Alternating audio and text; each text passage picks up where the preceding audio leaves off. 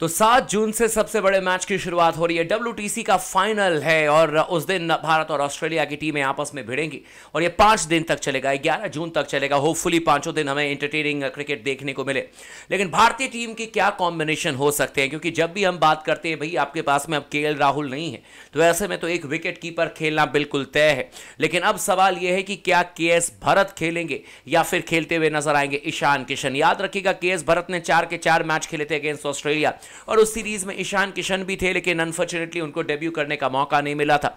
लेकिन अब कई सारे लोगों के मन में यह सवाल है कि जिस तरीके से ईशान किशन ने इस इंडियन प्रीमियर लीग में बल्लेबाजी की आई नो कि वो व्हाइट बॉल फॉर्मेट है टी ट्वेंटी फॉर्मेट है, और उन्होंने जिस तरीके से बल्लेबाजी करके दिखाई है तो क्या उनको चांस दिया जा सकता है डब्ल्यू में? और के भरत एक भी मैच नहीं खेले हैं, गुजरात टाइटन्स की टीम में है, लेकिन एक भी मैच नहीं खेले हैं।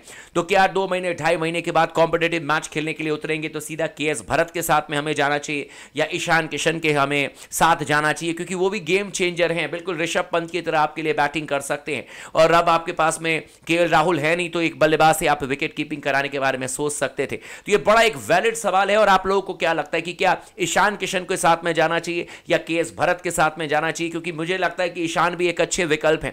अगर ये कोई चार पाँच मैचेस की सीरीज़ होती, तब तो आप एक बार ज़रूर सोचते कि भाई लंबी सीरीज़ है, और कोई बायोलेट्रल होता तो आप कहते कि चलो ठीक है, लेकिन रिस्क लिया जा सकता है। ईशान के साथ में आप रिस्क ले सकते हैं, क्योंकि वो भी वही काम करके देंगे जो कि ऋषभ पंत आपके लिए करते हैं। यू नेवर नो अगर मान लीजिए कि ऑस्ट्रेलियन कंडीशन में सॉरी इंग्लैंड के कंडीशन में अगेंस्ट ऑस्ट्रेलिया, अगर ईशान के बल्ले पर रन आ गए और उन्होंने तेज दरार अगर आपके लिए बैटिंग कर दी तो हो सकता है कि आपके लिए फिर यू नो गेम चेंजर हो सकते हैं। तो मैं, मुझे लगता है कि ये बहुत ही सोच समझ करके फैसला लेना चाहिए, और मे भी हो सकता है कि ईशान किशन को आप डेब्यू करते हुए भी देखें।